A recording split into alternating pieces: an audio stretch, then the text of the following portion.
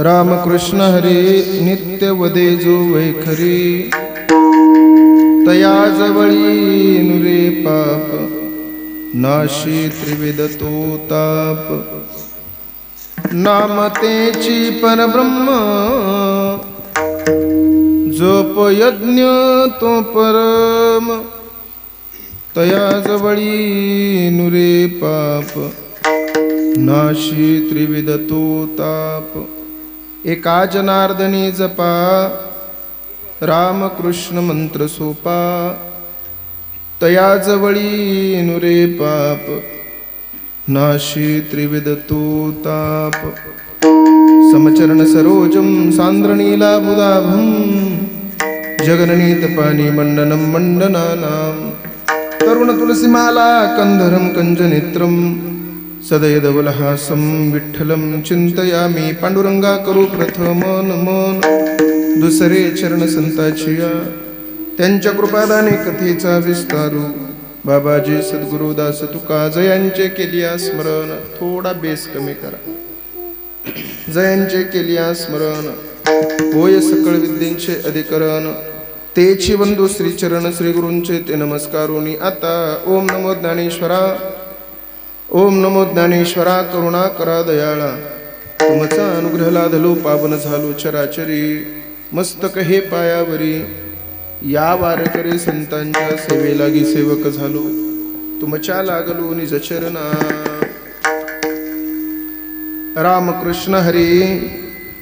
नित्यवदे जो वैखरी. तया जवळी नुरे पाप. नाशी त्रिविध तो ताप प्रस्तुत. प्राप्त प्रसंगी प्राप्त स्थळी चिंतन रूपी सेवेसाठी निवडलेला अभंग. या अभंगावर बोलण्यापूर्वी थोडासा परिहार द्यायचा तो म्हणजे असा. अखिल पोट ब्रह्मांड नायक रुक्मिणी प्राण संजीवन जगत आधार पांडुरंग परमात्म्याच्या असीम आगात कृपेने. मुक्त कैवल्य तेजोनिधी ज्ञानियांचे राजे योग्यांची माऊली साधकाची मायबाप अनाथाची माय विश्व माऊली ज्ञानोबाराय आधी करून श्रीमंत संत जगद्गुरु तुकोबाराय सकल संत मांदियाळीच्या कृपा आशीर्वादानं समापन्न होत असणारा भव्य दिव्य अखंड हरिनाम सप्ताह मौजे हंचनाळ नावाचं हे गाव अत्यंत गोड अत्यंत सुंदर अत्यंत देखणा भव्य दिव्य अखंड हरिनाम सप्ताह. आपण गेली बत्तीस वर्ष करत आहात आणि आता तेहतीसव्या वर्षामध्ये त्याचं पदार्पण आहे. अत्यंत गोड आणि अत्यंत भव्य दिव्य अशा पद्धतीचा हा सप्ताह आहे. या सप्ताहामधील महाराष्ट्रातील नामांकित कीर्तनकार तुमच्या पत्रिकेमध्ये तुमच्या गावातील ही समस्त मंडळीने या ठिकाणं आयोजित केलेली आहेत. खऱ्या अर्थानं फार दूरचा प्रवास आज तुमच्यापर्यंत केलाय. काय असतं बघा तारीख घेत असताना कोणाच्या माध्यमातून तुम्ही तारीख घेता त्याच्यावर अवलंबून असतो प्रवास करायचा की नाही करायचा. पण खऱ्या अर्थानं माऊली महाराजांचा आपल्या गावामध्ये जे पखवाज वाजवण्यासाठी गेली दोन वर्ष झालं आहेत. ते आदरणीय माऊली महाराज त्यांचा मला फोन आला आणि त्यांच्या माध्यमातून येण्याचा हा योग आहे. कीर्तनासाठी उपस्थित ही महाराष्ट्रातील नामांकित मंडळी आहे पैकी ज्यांनी सुंदर पहिली चाल म्हणली असे माझ्यावर नितांत प्रेम करणारे आणि माझंही त्यांच्यावर फार प्रेम आहे. लहानपणापासून एकामेकांसोबत राहिलेलो आहेत. आदरणीय आमचे बाळासाहेब महाराज उत्कृष्ट गायक आहेत. त्यांनाही कोटी कोटी धन्यवाद देतो. त्याचबरोबर त्यांच्या शेजारी असणारे आमचे परमेश्वर महाराज उत्कृष्ट गायनाचार्य आहेत फार सुंदर. तुम्ही गेली तीन दिवस झाला ऐकत आहात. त्यांनाही कोटी कोटी धन्यवाद देतो. माझ्यासोबत आलेले महाराष्ट्रातील एक नामांकित कीर्तनकार हरिभक्त परायण ऋषिकेश महाराज उपस्थित आहेत. त्यांनाही कोटी कोटी धन्यवाद देतो. माईक सिस्टम अत्यंत गोड आहे सुंदर आहे. तुझी सिस्टम चांगली आहे पण माझा साऊंड खराब झाला आहे थोडंसं मला सहकार्य कर. फार सुंदर तुम्हालाही कोटी कोटी धन्यवाद. आमच्या जनाबाई मुक्ताबाई मीराबाई आदी करून ही सगळी मंडळी इथं उपस्थित आहेत. आमच्या आळंदीवरून आलेले आहेत. त्यांना सुद्धा कोटी कोटी धन्यवाद देतो. बालगोपाळ मंडळी उपस्थित आहेत. सगळ्यांना धन्यवाद देतो. आणि तुम्ही समस्त गावकरी मंडळी. सगळ्यांच्या चरणावर विनम्र भावाने नतमस्तक होऊन माझ्या कीर्तन रूपी सेवेला सुरुवात करतो. मृदंग वाजवण्यासाठी आज उपस्थित असणारे महाराष्ट्रातील टॉप टेन पैकी ज्यांचा फार सुंदर पकवाज वाजवला जातो. आळंदीमध्ये तुम्ही जर वारीला कुठं आलात आणि वारीला जास्त गर्दी जमलेली दिसली की तिथं एक तर म्हणायचं भरत पठाडे असतील नाही तर दुसरे माऊली खोटे असतील या दोघांमुळे उत्कृष्ट गर्दी होत असते. महाराष्ट्रातील आणि माझा लाडका पखवाज वादक आहे बरं का? मी नेहमी कीर्तनामध्ये सांगत असतो मी त्याचं कौतुक जास्त करतो त्याचं कारण आहे. त्याचं कौतुक करण्याच्या पाठीमागे एक कारण आहे. त्याच्या हातामध्ये अशी जादू आहे की मेलेल्या जनावराच्या कातड्याला सुद्धा विठ्ठल विठ्ठल बोलायला लावणारे ते हात आहेत. आपलं तोंड सुद्धा विठ्ठल विठ्ठल बोलत नाही ही फार मोठी शोकांतिक आहे. फार कष्टातून त्यानं त्याचं जीवन उभा केलंय. अगदी मेहनतीनं उभा केलेलं आहे. लहान असायचा आळंदीला असायचा माझ्यासोबत असायचा. लहानपणापासून इंद्रायणीवर चार चार पाच पाच तास बसून पखवाज वाजवलाय. तेव्हा कुठं महाराष्ट्रानं आता डोक्यावर घेतलंय? खरं सांगू तुम्हाला? तुमच्या गावावर प्रेम आहे आणि तुमच्या गाववाल्यांचं त्यांच्यावर प्रेम आहे म्हणून आठ दिवस आपल्यासाठी उपस्थित येत नाही तर त्या माणसासाठी वेटिंगसाठी लोक तयार आहेत. वेटिंगवर आहेत लोक आत्ताही. हाय थोडा महाग आहे. पण चांगला आहे. उपस्थित आहेत माझे माऊली महाराज. फार सुंदर व्यक्तिमत्व. त्यांनाही कोटी कोटी धन्यवाद देतो. परिसरातील गावातील टाळकरी माळकरी चित्रकार पत्रकार अध्यक्ष उपाध्यक्ष सरपंच उपसरपंच सभापती आमदार खासदार मुख्यमंत्री पंतप्रधान सगळ्यांना कोटी कोटी धन्यवाद. सेवेला सुरुवात.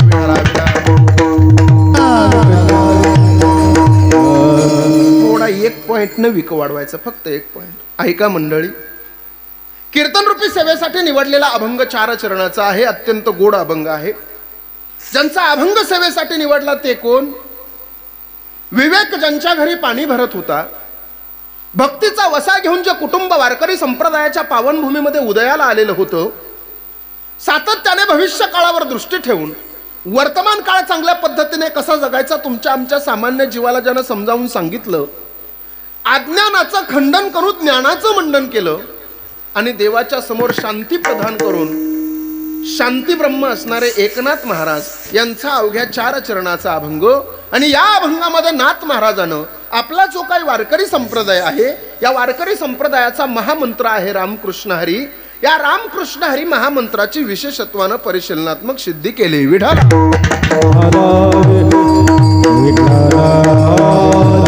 ऐका मंडळी तसे तुम्ही आम्ही सगळेजण भाग्यवान माणसं आहोत. भाग्यवान या करता आहोत कारण आपला जन्म महाराष्ट्रात झाला.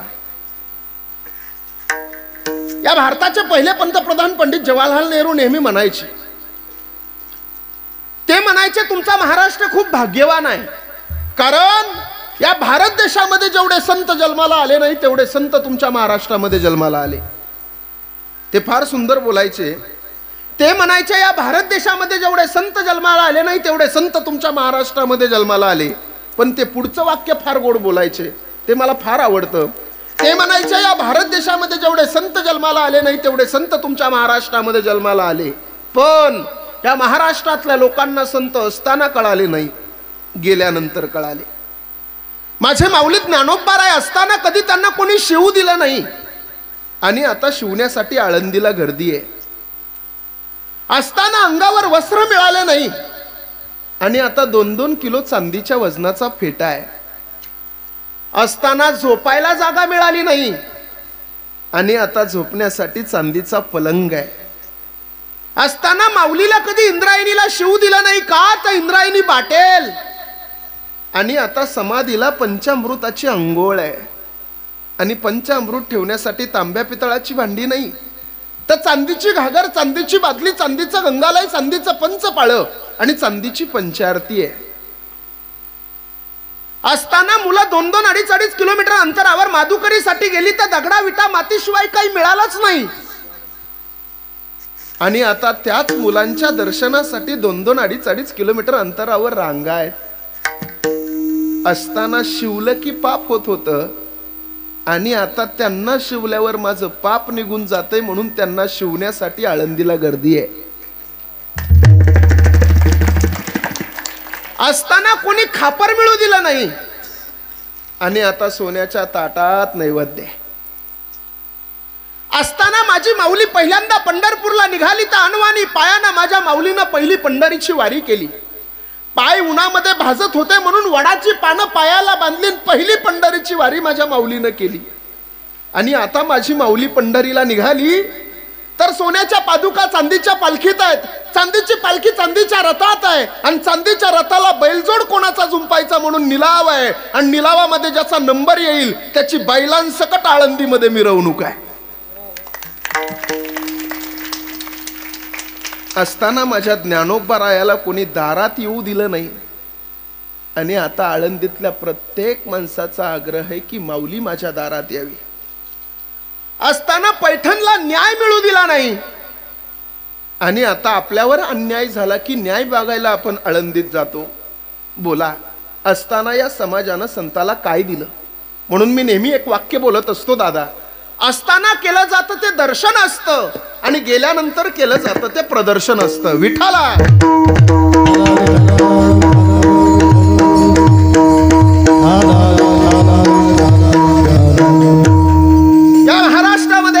ते मोठे वक्ते होऊन गेले त्या वक्त्याचं नाव आहे डॉक्टर अत्रे.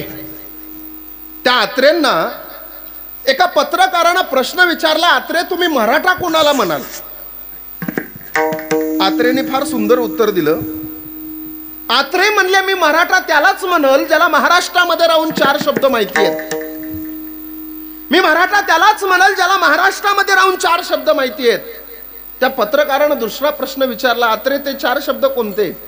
त्या आत्रेने उत्तर सांगितलं मी मराठा त्यालाच म्हणाल ज्याला चार शब्द माहिती आहेत. कोणते चार शब्द? विठोबा शिवबा ज्ञानोबा तुकोबा हे चार शब्द ज्याला माहिती आहेत त्यांनाच स्वाभिमानानं म्हणायचं मी मराठा आहे. म्हणून मी नेहमी सांगत असतो या महाराष्ट्रामध्ये राहून आपण भाग्यवान आहोत.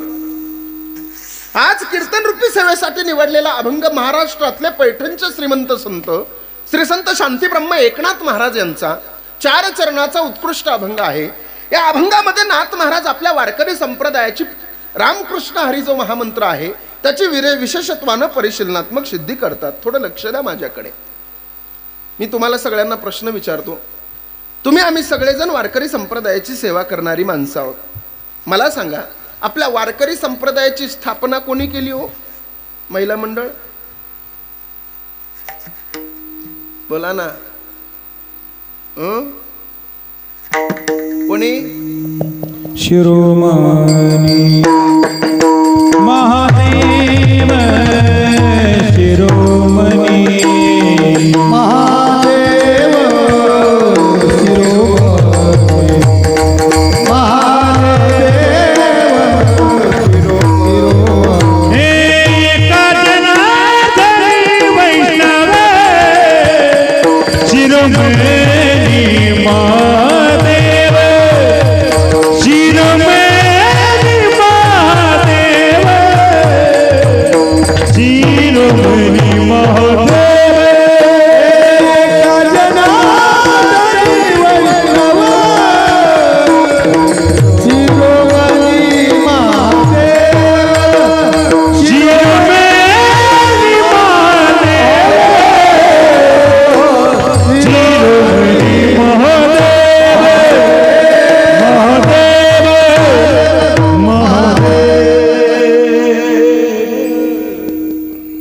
भाग्यवान आहात तुम्ही. ही सुंदर गायनाचार्य मंडळी तुम्हाला भेटली आहे. आणि खरं सांगू तुम्हाला यांना मिळवण्यासाठी दोन दोन महिने अगोदरच नियोजन करावं लागतं. आदात मदात नियोजन होत नाही आधीमध्ये म्हणायचं झालं तर होत नाही ते. महिनाभर अगोदरच तारखा घ्यावा लागतात तेव्हाच माऊली महाराज कुटुळे गावात येतात. महिना महिना दोन दोन महिने अगोदरच. हे महत्वाचं आहे. बाळासाहेब महाराजांना आणायचं म्हणलं तर दोन महिने अगोदर फोन करावा लागतो. चला. भाग्यवान आहात तुम्ही समस्त गावकरी मंडळी की ही सगळी मंडळी तुमच्याकडे उपस्थित आहे. आणि कीर्तनामध्ये ही सगळी मंडळी चांगली पाहिजे. तुमचं नशीब चांगलंय तुम्हाला चांगली माणसं भेटलेत नाही तर कीर्तनात एवढी साथ वाईट असती कधी कधी त्याच्यापेक्षा कोरोनाची बरी वाटती. माझ्या एका कीर्तनामध्ये एका गावाचं नाव नाही सांगणार तुम्हाला त्या गावात काल्याचं कीर्तन होतं. आणि काल्याच्या कीर्तनात मी अभंग घेतला होता. रंगने रांगत गुलगुला बोलत. रंगने रांगत गुलगुला बोलत. पाठीमागचे सगळे म्हणत होते रंगने रांगत गंगुला बोलत. अवघड आहे आज फार सुंदर आहे ऐका. वारकरी संप्रदायाची स्थापना कोणी केली असा प्रश्न तुम्हाला जर विचारला तर सरळ सरळ सांगून टाकायचं. आमच्या वारकरी संप्रदायाची स्थापना भगवान शंकरानं केली. एका जनार्दनी वैष्णव शिरोमणी महादेव. शंकरानं केली म्हणजेच आदिनाथानं केली. आदिनाथ उमा बीज बीज प्रगटले मच्छिंद्रा लादले. बोला ना सहज स्थिती मच्छिंद्राने बोध. गोरक्ष वळला गहिनी प्रसादे आणि ज्ञानदेवासार मच्छिंद्र त्रयाचा मुख्य शिष्य मच्छिंद्र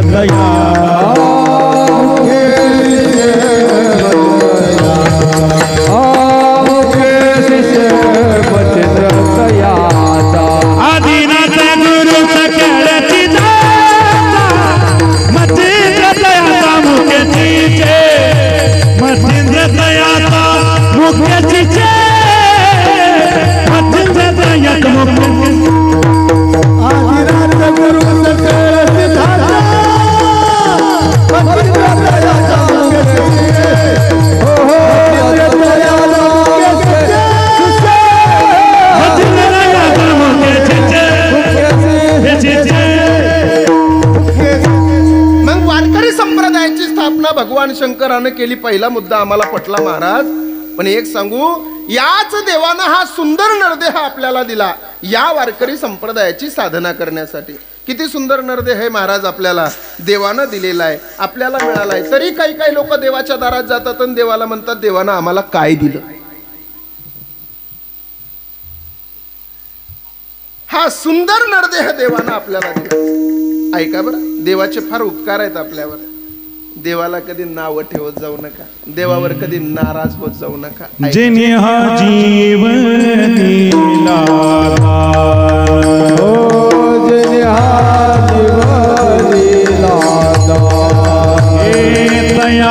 हे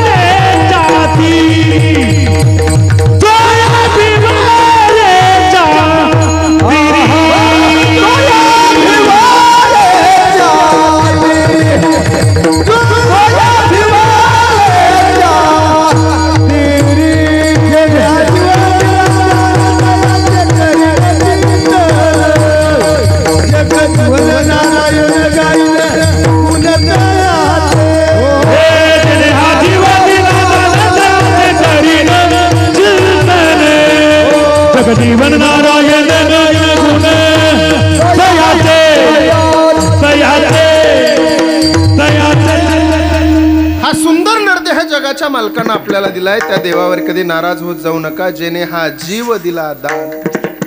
एक सांगू?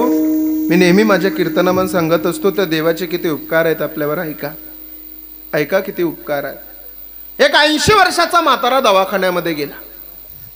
आणि दवाखान्यामध्ये गेल्याच्यानंतर त्या ऐंशी वर्षाच्या म्हाताराने डॉक्टरला सांगितलं डॉक्टर साहेब माझ्या हृदयामध्ये काहीतरी अडचण आहे. डॉक्टर म्हणले बाबा तुमच्या हृदयाचं ऑपरेशन करावं लागेल. ऐंशी वर्षाचं म्हातारा म्हणताय डॉक्टर साहेब काय खर्च लागायचा ते लागू द्या. पण माझ्या हृदयाचं यशस्वी पद्धतीने ऑपरेशन झालं पाहिजे. त्या डॉक्टर साहेबानं त्या ऐंशी वर्षाच्या म्हाताऱ्याला ऑपरेशन थिएटरमध्ये नेलं. त्याचं हृदय काढलं आणि हृदय काढून एका काचाच्या भांड्यामध्ये सांभाळून ठेवलं. तीन तास ऑपरेशन चाललं तीन तासाच्या नंतर ऑपरेशन सक्सेस झालं. ऐंशी वर्षाचं म्हातारा उठून उभा राहिलं डॉक्टरांच्या समोर गेलं आणि डॉक्टरांना बोलू लागलं डॉक्टर साहेब डॉक्टर साहेब तीन तास तुम्ही माझ्या हृदयाचं ऑपरेशन केलं. माझं हृदय काढून एका काचाच्या भांड्यामध्ये सांभाळून ठेवलं. तुमचं बिल किती झालं? डॉक्टरानं बिल काढलं आणि ऐंशी वर्षाच्या म्हाताऱ्याच्या हातात दिलं. म्हाताऱ्यानं बिल पाहिलं आणि म्हाताऱ्याच्या डोळ्यातलं पाणी गालावर आलं. बिल होतं आठ लाख रुपये. आठ लाख रुपये बिल पाहिल्याच्या नंतर म्हातारा रडायला लागलं. डॉक्टरांना वाटलं पैसे जास्त झाले म्हणूनच बाबा रडताय की काय? डॉक्टर म्हणले ओ बाबा अहो गेली तीन तास तुमचं हृदय मी काचाच्या भांड्यामध्ये सांभाळून ठेवलाय. आठ लाख रुपये बिल जास्त वाटत असेल तर एक लाख रुपये कमी करतो पण रडू नका. ऐंशी वर्षाचं म्हातारा म्हणते डॉक्टर साहेब तीन तास तुम्ही माझं हृदय काचाच्या भांड्यामध्ये सांभाळून ठेवलंय. आठ लाख रुपये नाही तुम्ही बारा लाख रुपये जरी बिल केलं असतं तरी मी हसत हसत दिलं असतं. डॉक्टर म्हणले मग बाबा तुम्ही रडता का? काय गोड उत्तर दिलं त्या म्हाताऱ्यानं. ते म्हातारं म्हणतंय डॉक्टर साहेब मी या करता रडतोय की गेली तीन तास तुम्ही माझं हृदय काचाच्या भांड्यामध्ये सांभाळून ठेवलं तर आठ लाख रुपये बिल काढलं गेली ऐंशी वर्ष झालं माझा देव माझं हृदय सांभाळतोय पण त्या देवानं अजून मला बिलच पाठवलं नाही हो. साहेब देव आपल्याला बिल पाठवत नसतो बरं पण देवानं बिल भरण्यासाठी काही जागा दिलेल्या आहेत. देव म्हणलाय तुला जर बिल भरायचं असेल तू एक काम कर. तुला बिल भरायचं असेल तर तू एक काम कर. या देवणी तालुक्यामध्ये हंचनाळ नावाचं गाव आहे. तिथं माझ्या नावानं अखंड हरिनाम सप्ताह चाललाय. तिथं जा आणि तिथं जाऊन माझ्या नावाची एक पावती फाडून टाक. म्हणजे पुन्हा तुला दवाखान्यात पावती फाडायची गरज लागणार महाराज हा सुंदर नरदेह आपल्याला दिला. कशासाठी?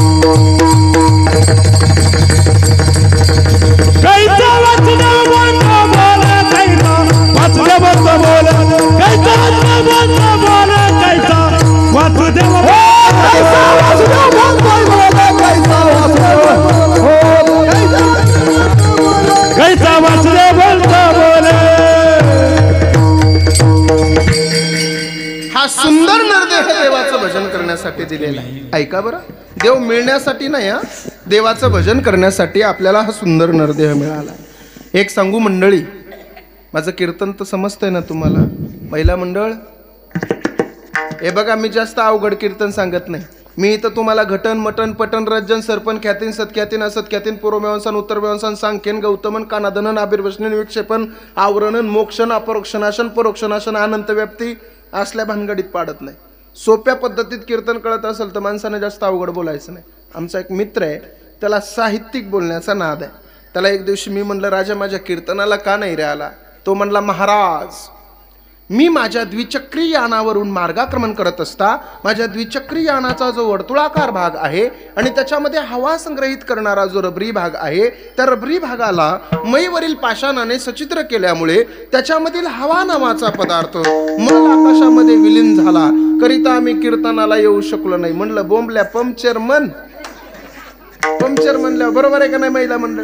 पंक्चर म्हणल्यावर महाराज महिला मंडळच कीर्तन लक्ष देऊन ऐकतं बरं. आपल्यापेक्षा भावनिक असतात महाराज त्या. किती भावनिक असतात पाहायचं का तुम्हाला? कीर्तन झाल्यावर बघा सगळ्या अशा लाईनीनं माझ्या दर्शनाला येणार आहेत. आणि माझं दर्शन करत असताना माझ्या पायावर पैसे ठेवल्याशिवाय कोणी पाया पडणार नाही. महिला मंडळ म्हणते महाराज तुम्ही तर पैसे मागायला लागले. आम्ही तर पैसे आणले नाही. तसं काही नाही. मला कुडकं चालतेत नथण्या चालत्यात मणी चालतं.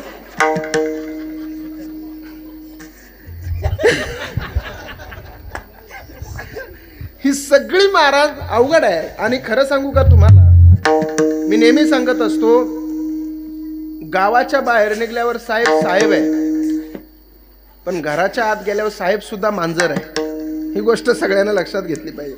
मी नेहमी कीर्तनात सांगत असतो खासदार आमदार कीर्तनकार चुली पुढं गप गार. चुली पुढं आता तुम्हाला सांगू का? आता आमच्या परमेश्वर महाराजांना किती चांगलं गाऊ द्या. आणि घरी गेल्यावर सांगू द्या आमच्या वहिनीला. काय सुंदर गायन केलं मी त्या हंसनाळ नावाच्या गावाला माऊली महाराज मुंबईवरून आले होते आमचे खोटे महाराज होते. काय कौतुक केलं लोकांनी काय टाळ्या वाजवल्या माझ्यासाठी? आमच्या वहिनीनं फक्त एकदाच असं करू द्या. सगळ्या गाण्यावर पाणी आहे महाराज. सगळ्याच तेच आहे महाराज. आता मी पाच दिवस झालं बाहेर आहे. किती दिवस झालं? पाच दिवस झालं. मुंबईवरून पाच कंप्लीट पाच दिवस झालं आज बाहेर आहे. अजून दोन दिवस घरी जाणार नाही. दोन दिवसानं घरी आम्ही जरी गेलो ना आमची गाडी लांबूनच पाहिलं की आमची बायको बी शेजारणीला म्हणते आला बाय आमचा सप्ता.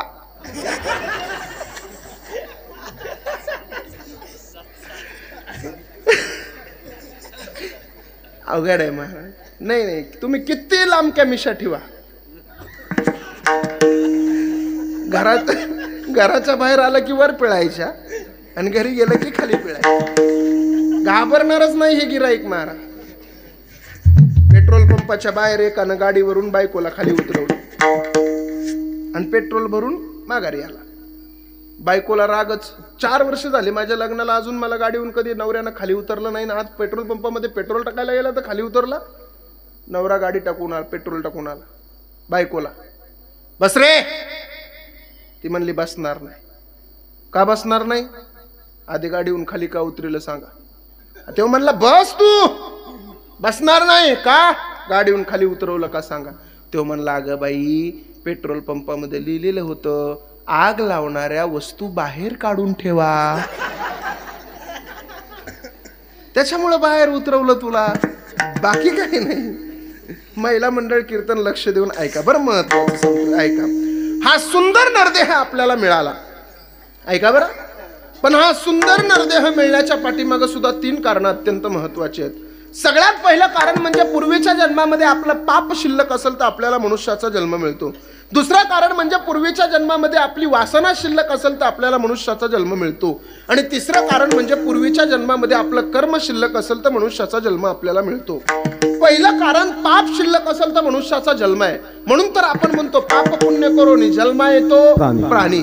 पूर्वीच्या जन्मामध्ये वासना शिल्लक असेल तर मनुष्याचा जन्म आहे. म्हणून तर आपण म्हणतो जन्म घेणे लागे वासनेच्या वासनेच्या संगी. संगी. आणि अत्यंत महत्त्वाचा मुद्दा पूर्वीच्या जन्मामध्ये आपलं कर्म शिल्लक असेल तर मनुष्याचा जन्म आहे. म्हणून तर आपण म्हणतो केले कर्म झाले तेच भोग आले आणि उपजले मेले. हा कर्म नावाचा घटक अत्यंत वाईट आहे महाराज. या कर्मानं चांगल्या चांगल्याला सोडलं नाही. नामा मने कर्मरेखा. आणि देवाधिका चुके ना कर्मे श्रीराम वनवासा गेला. कर्मे दशरथ योगे मेला. कर्मे रावण क्षय पावला आणि योग घडला. जगाच्या मालकाला सुद्धा कर्म चुकलं नाही तुम्ही आम्ही शून्य. मला सांगा महिला मंडळ तुम्हाला प्रश्न विचारतो. कर्माचा सिद्धांत पटवून देण्यासाठी तुमच्या प्रश्नाचं उत्तर फार अपेक्षित आहे. मला सांगा जिच्या नवऱ्याला चाळीस हजार रुपये पगार आहे त्याच्या बायकोला वीस चप्पलचे जोड घालायला आहेत. बरोबर आहे की चूक आहे? तुमच्याकडं आहे का नाही माहीत नाही आमच्या मुंबईकडं आहे. कारण मी एकदा जेवायला बसलो आणि जेवायला बसल्यावर एक बाई चप्पल घालून मला वाढायला आली. मी म्हणलं बाई मी जेवण करतो तुम्ही चप्पल घालून वाढायला आलात. ती म्हणली महाराज त्याचं काय आहे नो ती वाढण्याचीच आहे. म्हणजे चप्पल वाढण्याची असते. का म्हणलं अशा किती चप्पल आहेत तुम्हाला? म्हणली वाढण्याची वेगळी बाहेर फिरायला जाण्याची वेगळी बाजारला जाण्याची वेगळी जावयाकडे जाण्याची वेगळी पाहुण्याकडे जाण्याची वेगळी. म्हणलं थोबाडी थानायची आहे का एखादी? घेऊन ये म्हणलं असली तर. जिच्या नवऱ्याला चाळीस हजार रुपये पगार आहे त्याच्या बायकोला वीस चप्पलचे जोड घालायला आहेत. साहेब पण चप्पल घालायला पाय द्यायचे का नाही द्यायचे हे जिच्या हातात आहे. ती जगाची मालकीन मात्र चौदा वर्ष बिना चपलाची वनात आहे. याला म्हणायचं कर्म.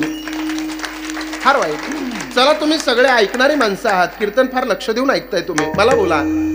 रामाला कर्म चुकलं का? जगाचा मालक आहे भाऊ रामचंद्र. कर्म चुकलं का बोला? नाही. रामाच्या वडिलाचं नाव काय हो? दशरथाला कर्म चुकलं का बोला? दशरथाच्या वडिलाचं नाव? हा अजय देवगण? अजय राजा अजय राजा बरोबर. अजय राजाला कर्म चुकलं का बोला? नाही चुकलं. अजय राजाच्या वडिलाचं नाव काय? नाही सांगता यायचं. ऐका थोडं लक्ष द्या माझ्या कीर्तनाकडे. राम लक्ष्मण भरत शत्रुघ्न हे चार भावंड आहेत. यांच्या वडिलाचं नाव राजा दशरथ. दशरथाचे वडील अज. अजच्या नभांग नभांगच्या ययाती ययातीच्या नहुष नहुषचे अंबरीश अंबरीशच्या प्रशुषू प्रशुषूच्या मरु मरूच्या शिग्रग शिग्रगच्या अग्निवन अग्निवनचे सुदर्शन सुदर्शनचे शंखन शंखनच्या प्रौद्ध प्रौद्धचे रघु रघुच्या कुकुत्स कुकुत्साच्या भगीरथ भगीरथच्या दिलीप दिलीपच्या अंशुमान अंशुमानच्या अस्मंज अस्मंजच्या सगर सगरच्या भरत भरतच्या असित असितच्या दृसंदी दृसंदीच्या सुसंदी सुसंधीच्या मांधाता मांधाताची युनाश युनाशच्या धुंदुमार धुंदुमारचे त्रिशंकू त्रिशंकूचे पृथू पृथूचे आरानिया आरानियाचे बाण बाणचे विखुक्की विखुक्कीचे कुक्की कुक्कीचे इच्वाकू इच्वाकूचे मनू मनूचे कश्यप कश्यपचे मरीची आणि मरीचीचे ब्रह्मा. ब्रह्मदेवापासून राजा रामापर्यंत कर्म चुकलं नाही तर तुम्ही आम्ही शून्य आहोत. चला द्या रामायण सोडून महाभारताकडे आणतो तुम्हाला. समजतंय ना कीर्तन? महाभारताकडे आणतो तुम्हाला लक्ष द्या माझ्याकडे. महाभारतामध्ये काशीप्रसाद जयस्वाल नावाची एक व्यक्ती सांगून गेली भ्रुवक्षत्र नावाचा राजा आहे. आणि त्या भ्रुवक्षत्र नावाच्या राजाला एक पोरगा झाला त्या पोराचं नाव आहे हस्ती. त्या हस्ती नावाच्या पोरानं जे गाव निर्माण केलं त्या गावाचं नाव? बोला ना. हस्तिनापूर. त्या गावाचं पहिलं नाव हस्तिनापूर. दुसरं नाव इंद्रप्रस्थनगर. तिसरं नाव योगिनिकपुरा चौथं नाव सिरी. पाचवं नाव किला सिरी सहावं नाव लालकोट सातवं नाव जहापना आठवं नाव तुबलकाबाद नववं नाव मुबारकबाद दहावं नाव फिरोजाबाद अकरावं नाव अकबराबाद बारावं नाव देहली तेरावं नाव चिराग देहली चौदावं नाव दिल्ली आणि एकोणीस फेब्रुवारी एकोणीसशे एकतीसला इंग्रज अधिकारी व्हाईस ट्राय यानं तिचं नाव ठेवलं नवी दिल्ली. त्या दिल्लीची नावं बदलली पण वैभव नाही बदललं. आता लोकसभेचे स्पीकर ओम बिर्ला जिथं बसतात ना त्याच्या पाठीमागे एक श्लोक लिहिलेला आहे. धर्मचक्र परिवर्तन आहे. दिल्लीचं तख्त हे धर्माधिष्ठानाची वाट पाहत राहतं. मग तो भ्रू अक्षत्र नावाचा राजा त्याला पोरगा झाला त्या पोराचं नाव आहे हस्ती. हस्तीला पुढे एक पोरगा झाला त्याचं नाव आहे नहुष. नहुषचा पोरगा ययाती. ययातीचा पुरू. पुरूचा कृकण्यू. कृकण्यूचा मतिनार. मतिनारचा सेविनार. सेविनारचा दिविरथ. दिविरथचा आदिरथ. आदिरथचा नवरथ. नवरथचा तपलीचा. तपलीचा वृक्ष. वृक्षाचा संवरण. संवरणला पुढे एक मुलगा झाला त्याचं नाव आहे कुरु. म्हणून त्या घराण्याला नाव पडलं कुरुवंश. त्यांच्याच कुलामध्ये पुढे एक मुलगा झाला त्याचं नाव आहे प्रतीप. त्याला तीन मुलं देवापी बाल्लिक शांतनू. देवापी संन्यासी झाला बाल्लिक महाभारत युद्धामध्ये मेला आणि शांतनू हस्तिनापुराचा राजा झाला. त्या शांतनूला गंगा नदीपासून झालेला आणि वाचलेला एक मुलगा त्याचं नाव आहे देवव्रत. त्यानं भीष्म प्रतिज्ञा केली म्हणून त्याचं नाव पडलं भीष्माचार्य. त्याची दुसरी बायको सत्यवती. त्या सत्यवतीला दोन मुलं एकाचं नाव विचित्रवीर आणि दुसऱ्याचं चित्रांगत त्यांच्याच कुलामध्ये पुढं दोन मुलं झाली. एकाचं नाव पंडू आणि दुसऱ्याचं धतराष्ट्र. पंडू नावाचा राजा त्या पंडू नावाच्या राजाला पृथा नावाची एक बायको आहे. तिचं खरं नाव पृथा आहे. पण तुम्ही आम्ही सगळेजण तिला कुंती असं म्हणतो. त्या पृथेला विवाह कालापूर्वी एक मुलगा झाला. त्याचं नाव होतं वसुसेन. आपण सगळेजण त्याला काय म्हणतो? कर्ण आणि विवाह कालाच्या नंतर तिला तीन मुलं झाली. धर्मनाथ युधिष्ठिर भीम आणि अर्जुन. तिची सवत मद्र देशातील एका राजाची मुलगी तिचं नाव आहे माद्री. तिला दोन मुलं एकाचं नाव नकुल आणि दुसऱ्याचं सहदेव. इकडा धतराष्ट्र नावाचा राजा त्या धतराष्ट्र नावाच्या राजाला एक बायको जिचं नाव आहे गांधारी. तिचं खरं नाव गांधारी आहे. तिचं माहेर आहे गांधार. त्या काळातलं गांधार म्हणजे अलीकडचं कंधार. अलीकडचं कंधार म्हणजे आत्ताचं कंधार आणि आत्ताचं कंधार म्हणजे अफगाणिस्तानची राजधानी. अफगाणिस्तान सुद्धा आत्ता आहे. एकोणीसशे एकोणतीसला उपस्थान नंतर उपगस्थान नंतर अफगाणिस्तान एकोणीसशे पंच्याऐंशी सार्क परिषदेची स्थापना आणि दोन हजार दोन सार्क परिषदेचा आठवा देश म्हणून अफगाणिस्तान भारताच्या पंक्तीला बसला. चला मला इतक्या पलीकडे जायचं नाही. तो इतिहास सांगत लाग सांगायला लागल्यावर पुन्हा वेळ निघून जाईल महत्त्वाचं सांगायचं आहे त्या गांधारीला शंभर पुत्र आहेत. जसे पुत्र शंभर आहेत तसे त्या गांधारमध्ये तिला भाऊसुद्धा शंभर आहेत. सगळ्यात पहिला पुत्र तिचा होता त्याचं नाव होतं दुर्योधन. याचं कर्म एवढं वाईट वयाच्या सोळाव्या वर्षी अफगाणिस्तानला गेला आणि आपले सगळे शंभरच्या शंभर मामा जेलमध्ये जेलबंद करून टाकले आणि तिथला तो राजा झाला वयाच्या सोळाव्या वर्षी. सगळ्याला आठ आठ दहा दहा हरभरे फुटाने खायला द्यायचा. दोनशे दोनशे किलो वजनाचे मामा तीस तीस चाळीस चाळीस पन्नास पन्नास किलोवर आले. चर्चा सुरू झाली आता आपण मरून जाणार. त्यातला सगळ्यात एक चॅप्टर मामा होता त्याचं नाव होतं शकुनी. काय पोरांनो? मामापासून सावध राहा. त्याचं नाव होतं शकुनी. त्या शकुनीनं सगळ्या शंभरच्या शंभर त्याच्या भावाला एकत्र केलं आणि सगळ्याला सांगितलं हे बघा तुमच्या सगळ्यांच्या हरभरे फुटाने मला खायला द्या. बाकीचे म्हणले आम्ही मरून जाऊ ना रे तो म्हणला तुम्ही मेले तरी चालेल मी जगलो पाहिजे. बाकीचे म्हणले तुम्ही जगून काय करणार? तो म्हणला मी जगून त्या हस्तिनापुराला जाणार. तिथं जाऊन काय करणार? तिथं जाऊन मी त्या दुर्योधनाचा विश्वास जिंकणार. विश्वास जिंकून काय करणार? तर त्यानं उत्तर एवढं सुंदर दिलं त्या दुर्योधनाचा विश्वास जिंकून असे काही सल्ले मी त्या दुर्योधनाला देणार जसे त्याने माझे शंभर भाऊ जेलमध्ये जेल बंद करून मारले तसे मी सुद्धा माझ्या सल्ल्यानं त्याचे शंभरच्या शंभर भाऊ मारून दाखवणार. मला सांगा कौरवांचं पूर्ण वाटोळं झालं पण सल्लागार समितीवर कोण होतो? शकुनी एकच हात फिरवायचा भांजे दुर्योधन.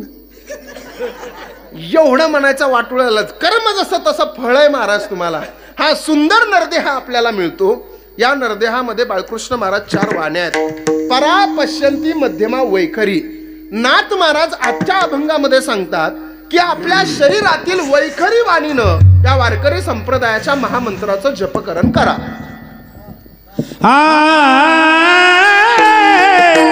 हो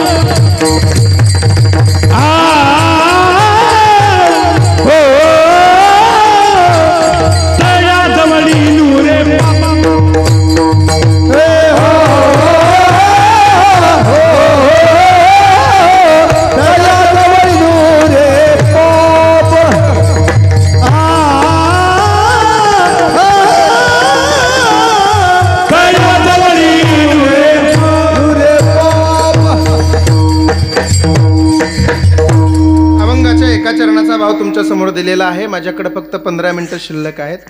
सगळ्याला विनंती आहे मोठ्या प्रेमानं भजन करायचं. राहिलेल्या पंधरा मिनटामध्ये एक चरणाचा भाव पाहण्याचा प्रयत्न करू आपण. भजन गोड करायचं भजन झालं. तुमचं भजन जर मला पटलं तर कीर्तन टायमिंगला सुटलं. नाही नाही. जास्त नाही होणार माझ्याकडून.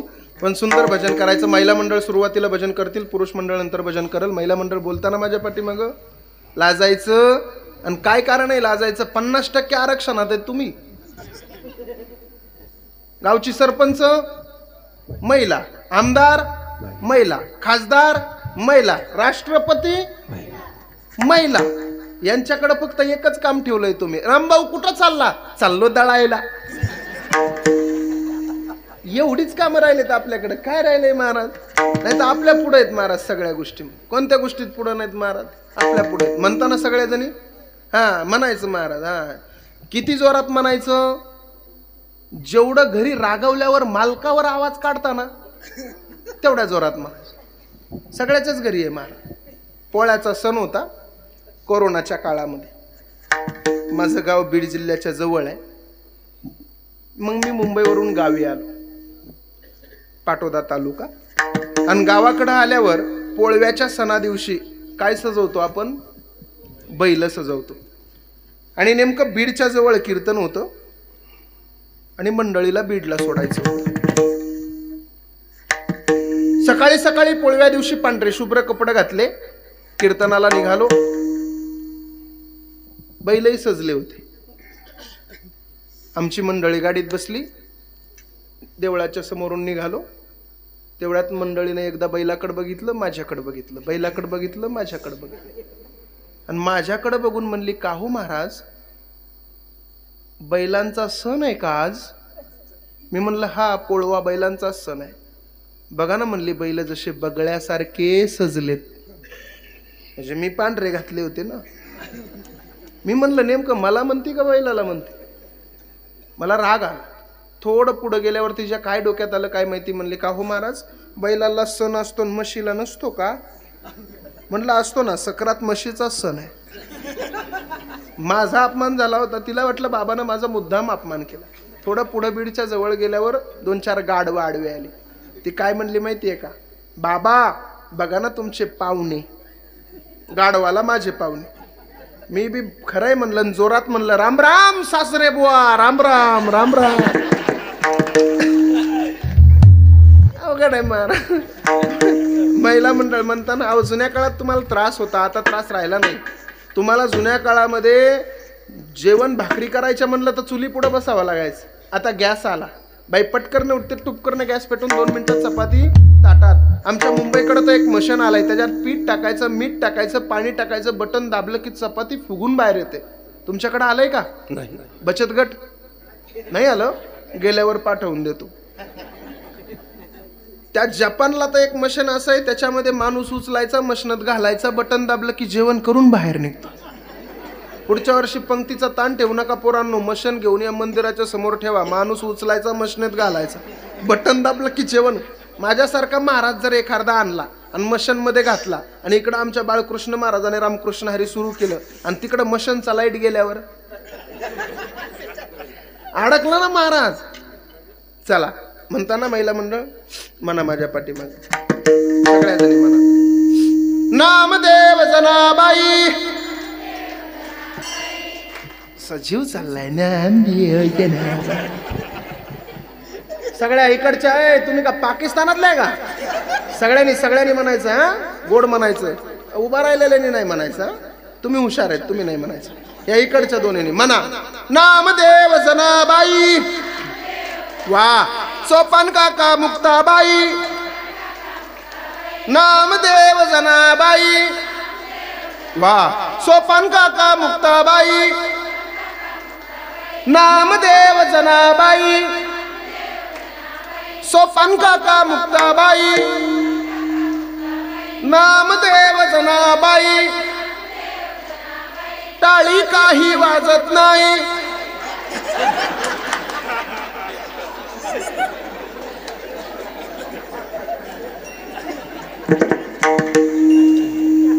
अरे टाळी वाजवायला सांगितली होती तुम्हाला. म्हणायला नव्हतं सांगितलं. जमलं नाही तुम्हाला भजन महिला म्हणून. भजन ऐकायचं तुम्हाला? कसं असतं भजन ऐकायचं का? बोला ना ऐकायचं का? बघा आता आमचे पुरुष मंडळी कसं भजन करतात तुमच्यापेक्षा एक नंबर. हे बघा तुमच्या जीवावर बोललोय हा. एक नंबर पोरांनो एक नंबर भजन करायचं. सगळ्यांनी हात वर करा पुरुष मंडळी. ज्याला ज्याला वाटतं मी पुरुष आहे. तुम्ही बाकीचे खाली नाही नाही.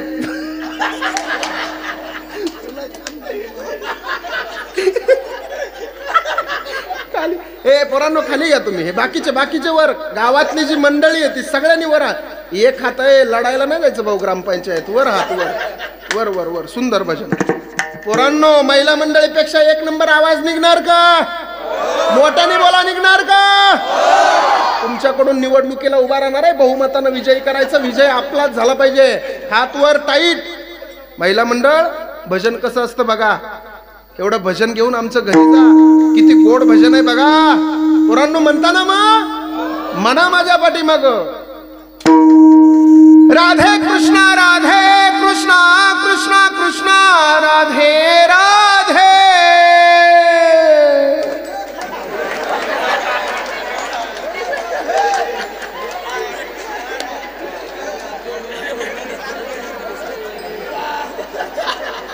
शाबाश। माणूस अरे डिपॉजिट जप्त केलं रे तुम्ही माझं. एक अर्धा तरी मतदान करू द्यायचं ना. सगळे सगळ्यांनी वर हात करा. सगळ्यांनी वर हात करा. महिला पुरुष गडी बाया लेडीज जण सगळे.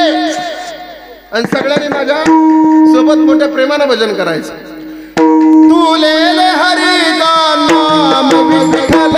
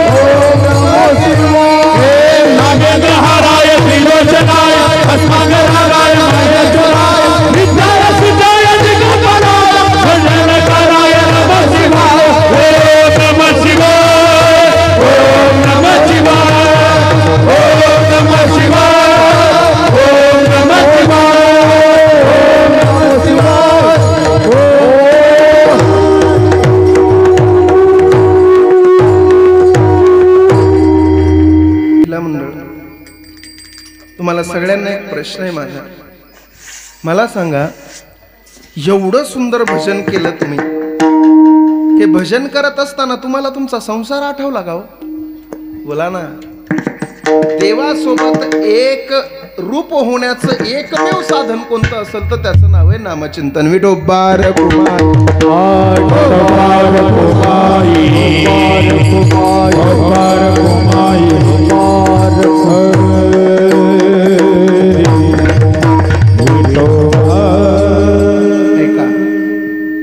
द्या कीर्तनाकडे.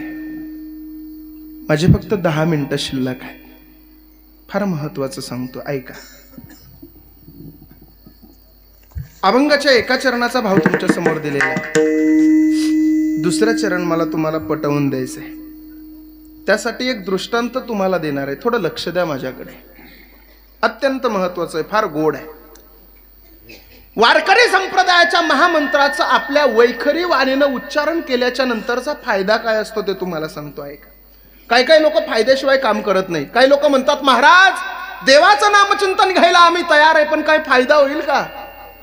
सांगतो तुम्हाला काय फायदा असतो देवाच्या नामचिंतनाचा. मंडळी मुंबईमध्ये एक डॉक्टर होऊन गेले. त्या डॉक्टरांचं नाव आहे डॉक्टर नितू मांडके.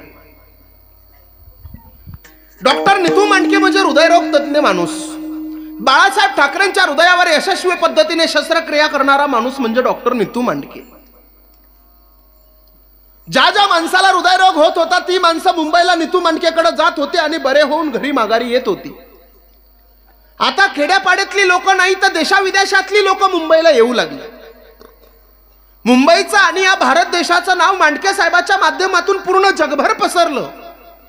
म्हणून दिल्ली सरकारनं मांडके साहेबाचा सत्कार करायचं ठरवलं. मांडके साहेबांच्या घराकडे पत्र पाठवण्यात आलं की साहेब आपलं कार्य फार महान आहे. आपल्या कार्याची दखल दिल्ली सरकारनं घेतलेली आहे. म्हणून उद्या सकाळी साडे दहा वाजता तुमचा सत्कार दिल्ली सरकारनं आयोजित केलेला आहे.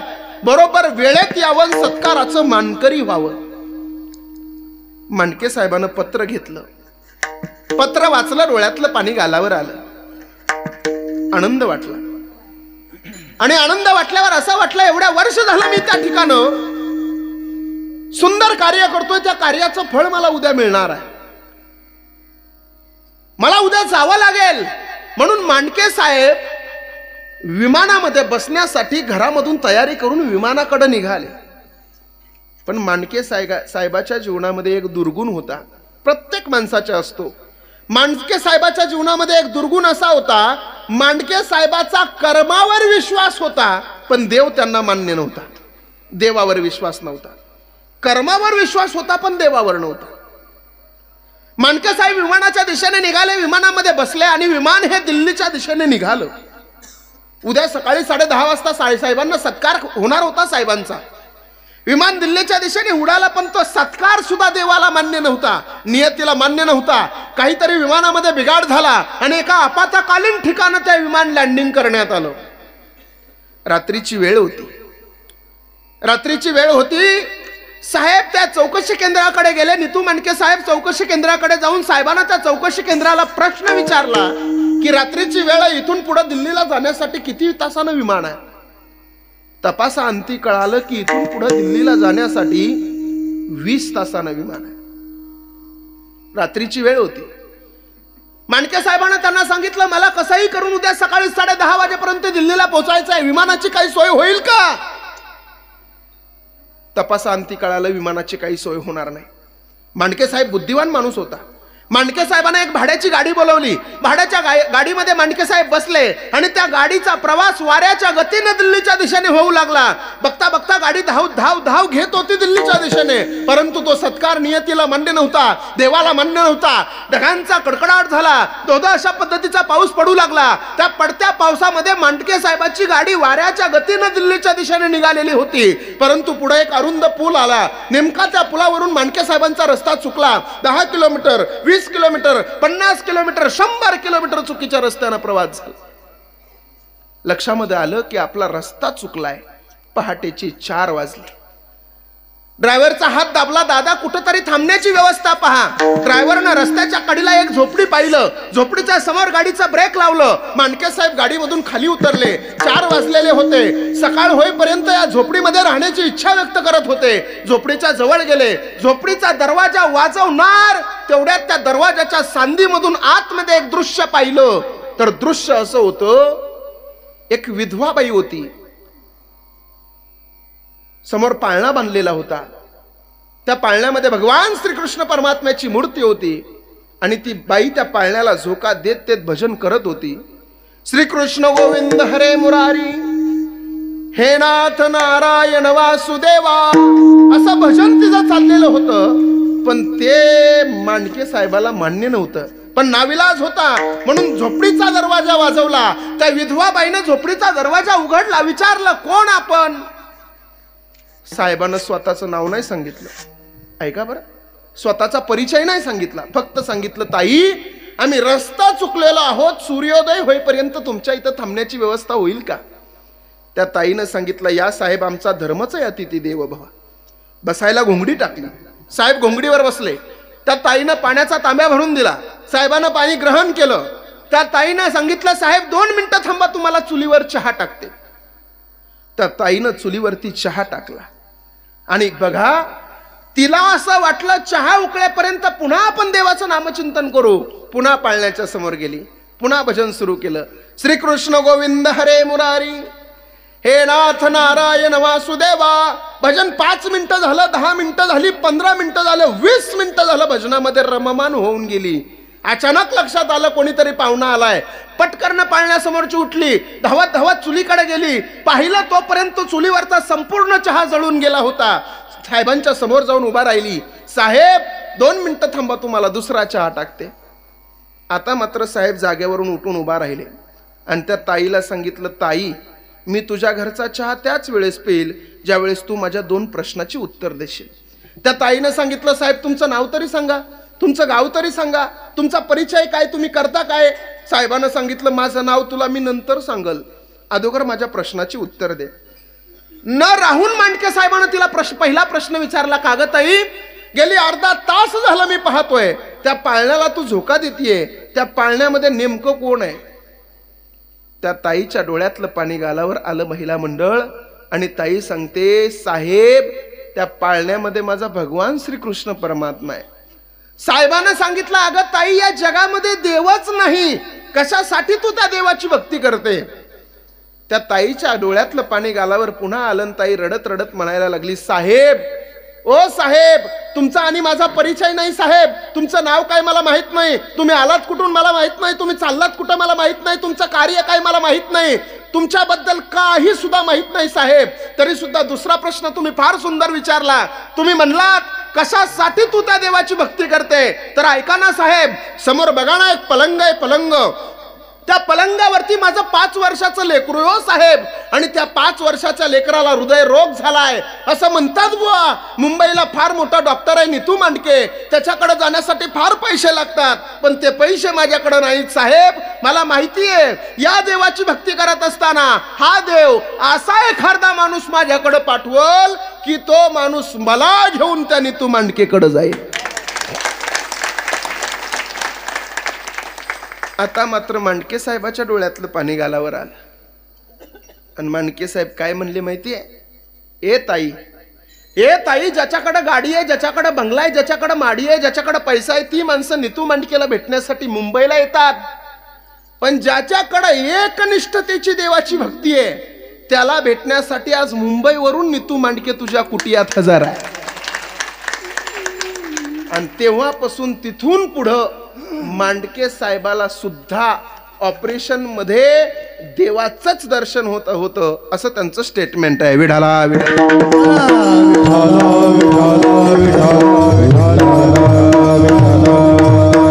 रामकृष्ण हरी जर तुम्ही तुमच्या वैखरी वाणीनं घेतलं तर त्याचं फळ काय?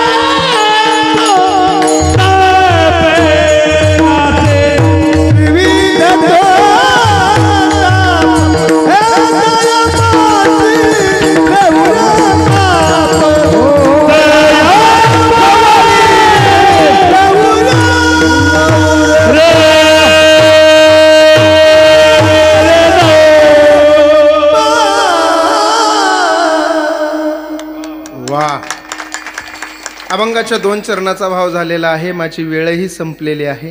ऐका. दोनच चरणाचा भाव तुमच्यासमोर दिलाय. दोन चरण राहिलेली आहेत. काळजी करू नका. ते दोन चरण सांगण्यासाठी मी पुन्हा येईन. विनोदाचा मुद्दा सोडून द्या. पुन्हा काही कोणाच्या गाठी भेटी होत असतात काही असं काही नसतं. फार विनोदाचा मुद्दा आहे. ऐका थोडं लक्ष द्या. दोन मिनिटं घेऊ का तुमचे? घ्या? नाही आमच्या या कीर बाल कीर्तनकाराला विचार. घेऊ का बाळा? नको ना? नको ना? घ्या बर बर बर. ती रात्री अर्ध्या कीर्तनातूनच खाली बसली.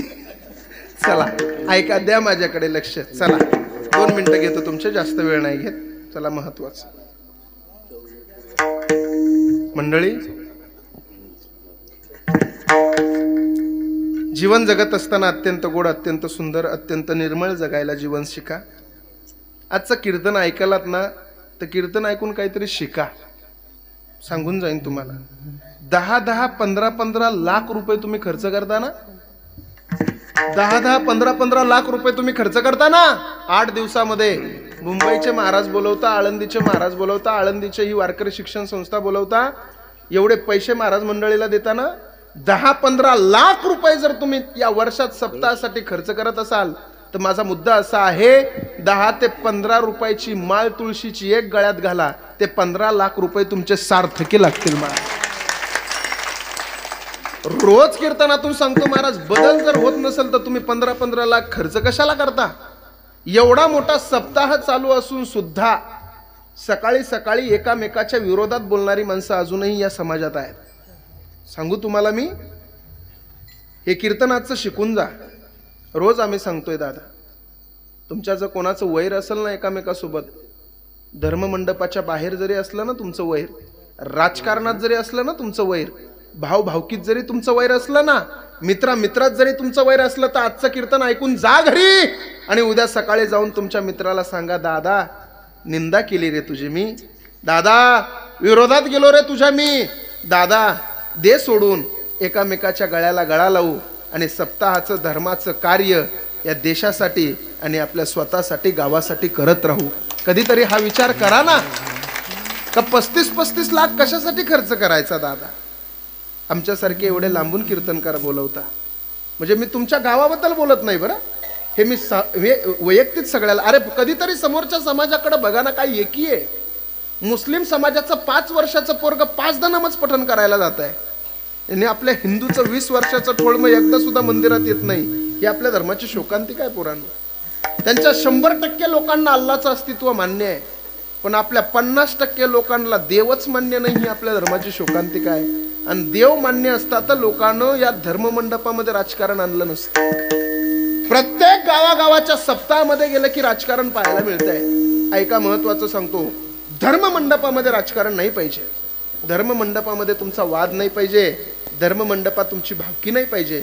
तुमचं भावाभावांचं मित्राचं भांडण नाही पाहिजे. महत्वाचं सांगतोय. अरे एक दगड मंदिरामध्ये गेला तर देव बनून राहिला. ही माणसं शंभरदा मंदिरामध्ये जातात पण साधा माणूस बनायला तयार नाहीत. ही आपल्या धर्माची शोकांती काय? कधीतरी याच्यावर विचार केला पाहिजे आपण.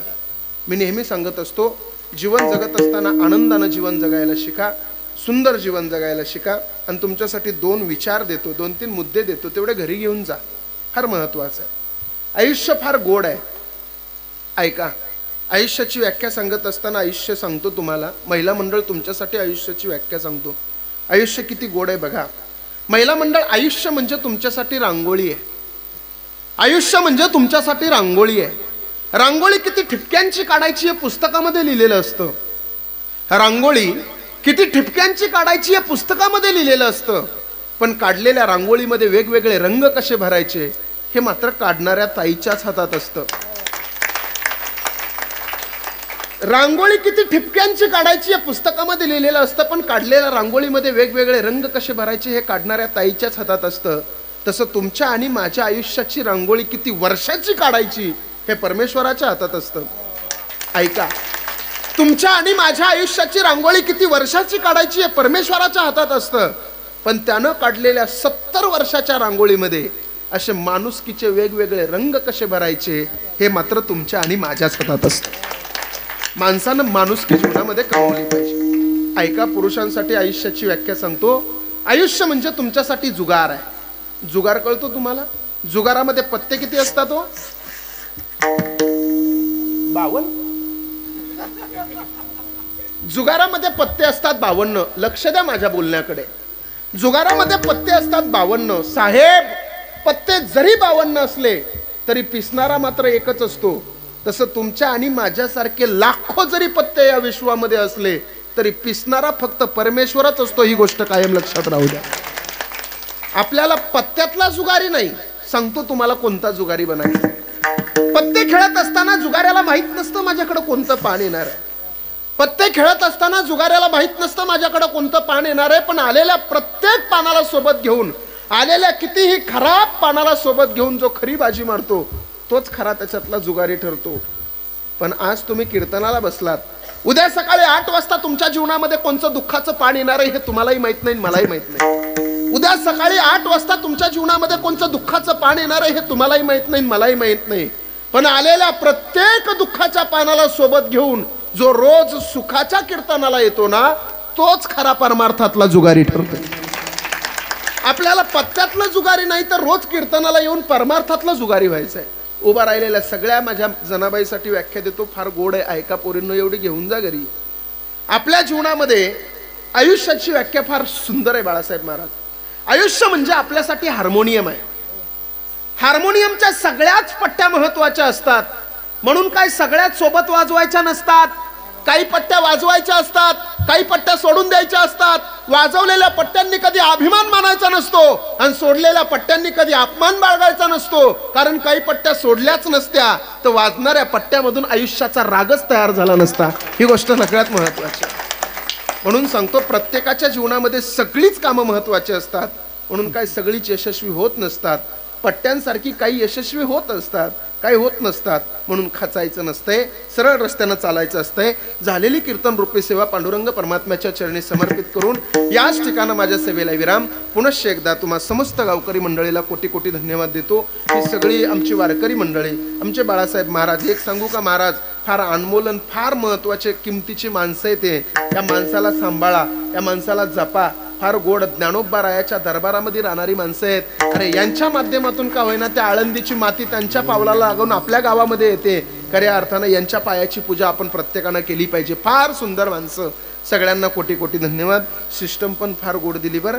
त्याच्यासाठी एकदा जोरदार टाळ्या वाजवा. त्यालाही धन्यवाद देतो. सगळ्यांच्या चरणावर विनम्र भावाने नतमस्तक होऊन सेवेला याच ठिकाणं माझ्या विराम. ज्ञानेश्वर.